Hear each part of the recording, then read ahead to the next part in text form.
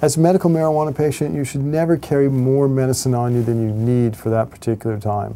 Um, if you're running down to the store, there's no need to carry an ounce or two on you. Just carry a, a gram or whatever is reasonably necessary for your medical condition.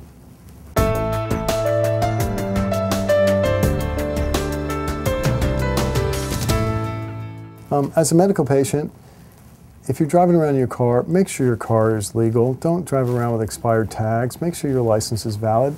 If you give them a reason to pull you over and to search your car and they find your medicine, they may arrest you even though it's legal. So always keep it legal.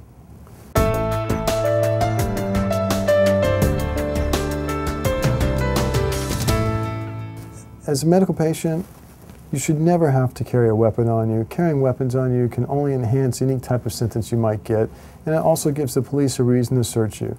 So don't carry weapons on you.